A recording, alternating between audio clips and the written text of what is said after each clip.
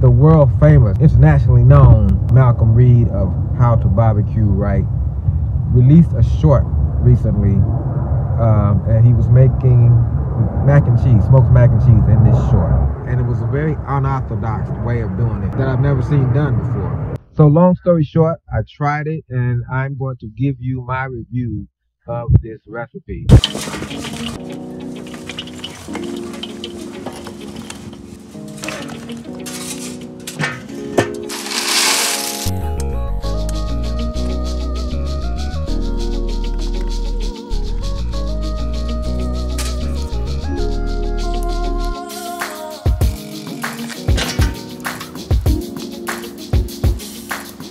Been 30 minutes, y'all. According to Malcom Reed's short, it is time to check the macaroni and cheese and give it a stir. Let's go.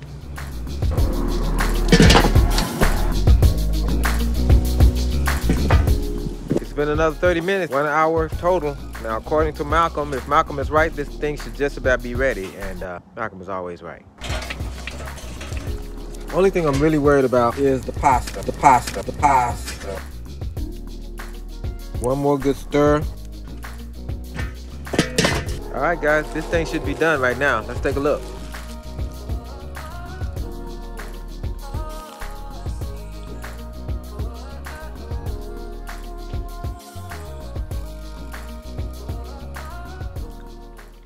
All right, man, so if you were paying very close attention during the video, you know, already know that one of my problems or one of the things that I was worried about is the pasta. But I thought that the pasta wouldn't get completely done because it went in raw. Actually, the opposite occurred for me, and it was overcooked. The the texture of the cheese and everything was on point, fantastic. But when I took a bite, I noticed right away that the pasta was just almost lost. Like I couldn't taste it. It was it was kind of mushy. It was blending in with the cheese.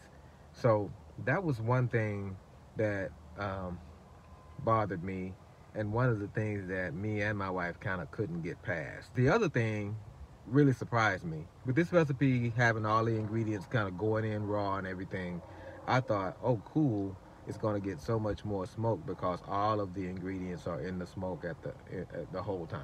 That turned out to be a bad thing to tell you the truth because it ended up being just too much smoke for us. Now I changed a couple of things as far as flavor wise. Flavor wise it was good. I didn't use Velveeta.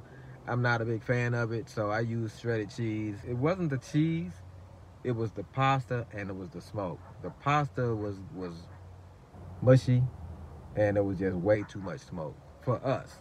I mean, other than that, it's a solid recipe. I wouldn't have believed that you could do it that way. Just put everything in the pan raw. That's what's so cool about it. You just dump everything in the pan and put it in the smoker and it comes out good. Your mileage may vary and you should try it for that reason. All right, y'all. So I told you I was going to tell you, I was going to show you the backyard at this place. Y'all know I love being in my backyard. I love hanging out with y'all in my backyard.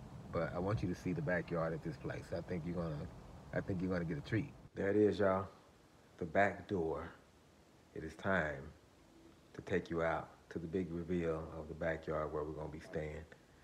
You're going to get a kick out of this. Hope you're ready.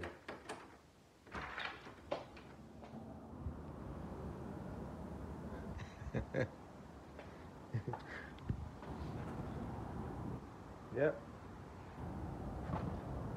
That's the whole backyard right there. My wife was like, you can still grill back there. You still got room. Now I will go crazy. So basically, basically I got to go out in the front or on the side or something like that. Cause this right here ain't gonna be able to do it. This is a really, really nice spot. And to be honest with you, we just really, really blessed. Uh, last time we had to leave out of our house, we were in a little bitty tiny uh, Airbnb that was really meant for one place, one person. Everything in there was within 10 feet of you. Bathroom, kitchen, everything. And it was one very, very, very uncomfortable metal spring bed. So even though I'm kind of making fun of this situation with the backyard, just because y'all know how I do, we are blessed We are blessed. We are blessed. And we're going to be very comfortable here for however long it takes. But it ain't no place like home, y'all. It's Ron on the grill.